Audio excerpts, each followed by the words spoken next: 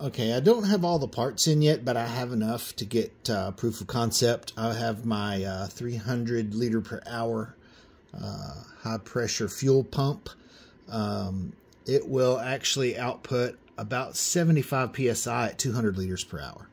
Um, and then uh, if you need uh, higher flow, uh, then you're looking somewhere around 40 psi or so. But it should be plenty for what I want to do. Um, and I have my little sparker uh, set up. So anyway, uh, let's give this thing a little dry run. I'm told that you can run these pumps for five minutes dry. Uh, I really uh, don't want to do that, so I'm just going to kick it on just long enough to see uh, that we have some activity, uh, and then I'm going to shut her down. Here we go.